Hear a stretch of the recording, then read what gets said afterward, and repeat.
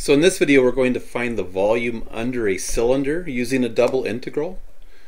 And so it says find the volume of the solid line in the first octant and bounded by the graphs z equals 4 minus x squared, x plus y equals 2, and x equals 0, y equals 0, z equals 0. This really is what's forcing that first octant bounding.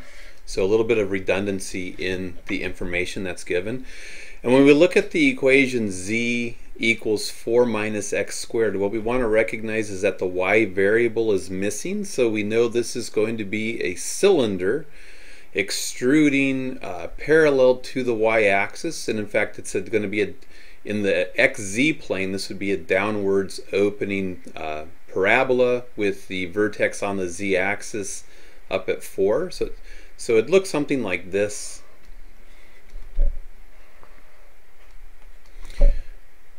So we go from 4 down. It's going to hit the uh, x axis there.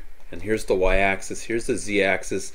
And that y variable is missing. So we know we're going to have a cylinder extruding parallel to the y-axis. But because we're only interested in the first octant, we wouldn't worry about the part of the cylinder that's uh, in any of the other octants.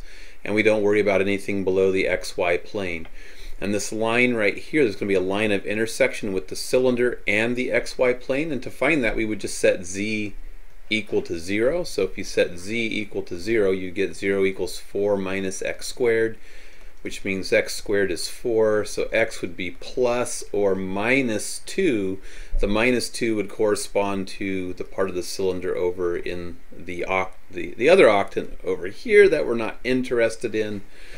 So we don't need, because we're uh, keeping the conversation in octant 1, we don't need the negative square root. So this is the positive square root. This is the line x equal to 2.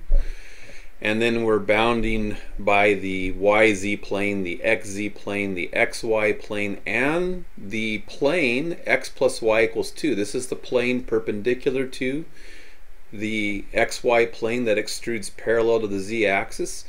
So notice if you graph this, if y is 0, x is equal to 2. So right here.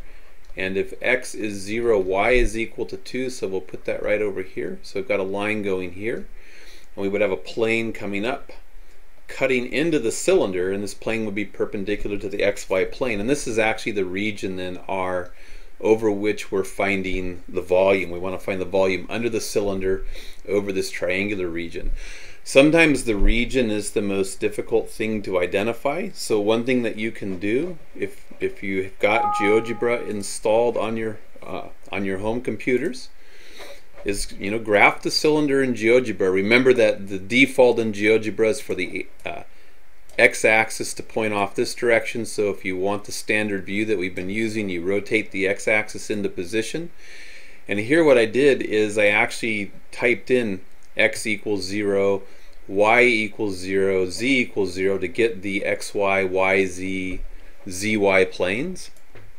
And then I uh, typed in the line x plus y equals 2. So that's this plane right here, perpendicular to the xz plane. And I used the intersection tool, intersect two surfaces, to select the surfaces and find their intersections with the uh, xy plane. And what that allows you to do then is to see that triangular region in the xy plane over which you're wanting to integrate. So this can be a useful tool if you're having a hard time drawing, hand drawing, or visualizing the region over which you need to be integrating. It uh, can be pretty, uh, pretty useful to graph the bounding surfaces in GeoGebra and see what the traces of those bounding surfaces look like in the xy plane if you're integrating over a region in the xy plane. It also helps you to visualize uh, the surface that you're working with, the surface under which you're finding the volume. So zipping back into here, I've got I've got the cylinder here. I want to find the volume underneath the cylinder uh, bounded by this region right here. So again, it's going to be a double integral and I have two choices. I can either do d, dy dx or dx dy, but it'll be a double integral under the surface, so we need the height times dy dx, so it's going to be 4 minus x squared. And we either do dy dx or we do the surface 4 minus x squared and we do dx dy. So if we do dy first, then we're going to run uh, across our region parallel to the y-axis first. So we need to think about what do the bounds of integration look like. Uh, parallel to the y-axis, so we'd be running from the x-axis to the line right here. So it would go from y equals 0 to this line is the line x plus y equals 2. So we have x plus y equals 2. So that means that y would equal 2 minus x. So we'd be running to the line 2 minus x. Again, uh, when if we're integrating with respect to y, we can't have y in the initial bounds of integration. It has to be the x showing up. And then we have to say next, what's the line interval over which we're going to run the dx's, and those are going to run from 0 to 2, because these ordered pairs both on both axes, this is the ordered pair 0, 2, 0, and this is the ordered pair 2, 0, 0. So we'd be running on the x-axis this way, from 0 to 2. That's the line interval over which we'd be running. If we do dx's first, then our, we're going to run parallel to the x-axis, so we'd be running from here to here. So from the y-axis, which has equation x equals 0, so x equal to 0, and then up to the same line, so instead of y equals 2 minus x, we'd want to solve it for x and get x equals 2 minus y. So we'd run from 0 to 2 minus y, holding y constant, integrating first with respect to dx, and then we'd run this direction on the line interval from 0 to 2 over the y-axis, 0 to 2. And the reason for setting this up is we want to recognize that, that the order of integration, the dy dx or dx dy, can make a difference in terms of how much work there is to do, or in some cases, even whether it's possible to do the work. So in this case, if I'm integrating with respect to y first, I'm holding x constant. That means 4 minus x squared is a constant with respect to y. So my first integration would look like this. I'd get 0 to 2, integrate 4 minus x squared with respect to y, but 4 minus x squared is a constant, so it's just going to be the constant times y from 0 to 2 minus x, and then this is going to be a dx because we haven't integrated with respect to x first. And so then to simplify this, we would just run in 0 to 2. We put in the upper and lower bounds of integration. Clearly the lower bound of integration going in for y is would zero it out. So we'd wind up with 4 minus x squared times y, where y is equal to 2 minus x. This would be the next thing that needed to be integrated. And this is just this is just integrating a single variable equation at this point. So I'm going to go dot dot dot because we already know how to integrate uh, single variable integrals, right? So if we did with respect to x first, here's what we would get in the next step. We'd get the integral from 0 to 2, but we're integrating with respect to x. So here I have a constant, 4 is a constant with respect to x, so we'd get 4x. And then here I'd get minus 1 third x cubed, and I would need to run that from 0 to 2 minus y. 0 to 2 minus y.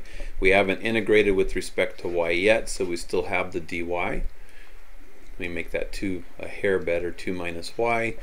And then we would have to plug in our upper and lower bounds of integration. So here I recognize I'd be plugging in a 0 for my lower bound of integration, which would just kill everything.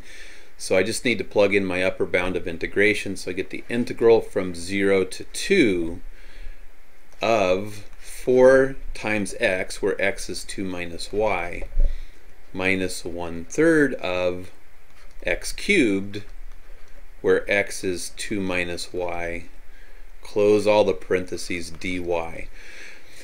And then I could say dot, dot, dot, because we're now we're integrating with respect to a single variable, and we already know how to do that. And the, the question is really which one of these two looks like it's going to be less work. And I would argue this one looks like less work.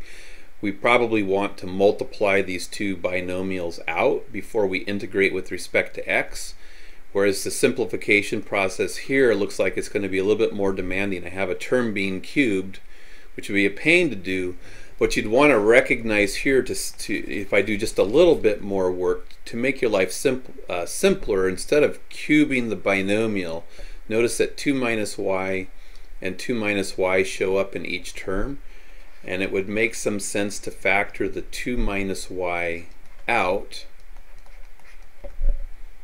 which would leave 4 minus a third of 2 minus y quantity squared, and this would be dy, and probably square this guy out at this point and then simplify it with uh, the stuff right here before multiplying it the rest of the way out. But I think what's my, my point is that this looks to be much more work than this. So the order of integration in this case does impact the workload that you have in order to resolve the integral or the volume.